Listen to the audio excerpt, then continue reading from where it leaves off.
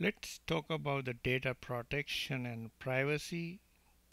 You go to this screen by clicking setup and in the quick find box you type data protection and pri privacy and you come here. It is under company settings. Give access to data protection and privacy details in lead contact and person account records the individual object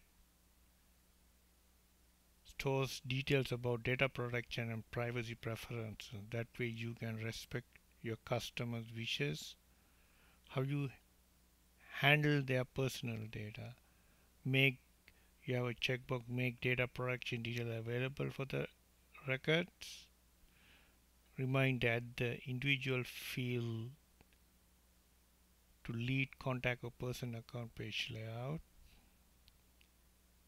this is um, for lead contact and personal account records.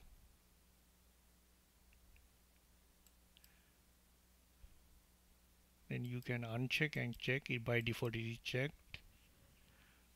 So this is where how you um, enable data protection and privacy settings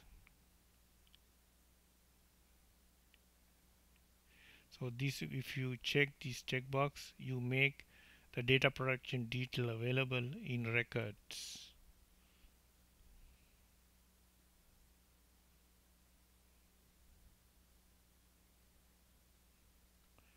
This way you can respect customers' wishes for how you handle their personal data.